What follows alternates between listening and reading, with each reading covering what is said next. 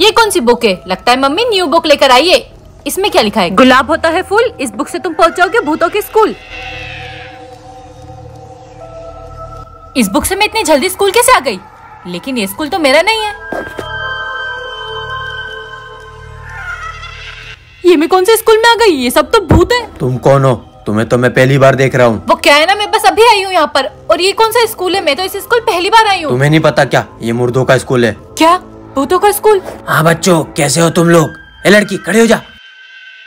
कौन हो तुम? तुमको मैं पहली बार देख रहा हूँ। हाँ सर वो क्या है ना मैं बस अभी आई हूँ और गलती से इस स्कूल में आ गई हूँ। मैं इंसान हूँ मैं भूत नहीं हूँ। क्या?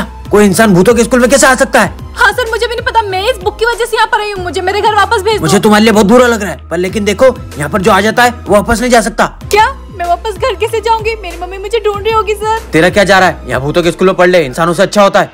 नहीं मुझे तो तुम सबसे बहुत डर लग रहा है। मुझे अपने घर जाना है।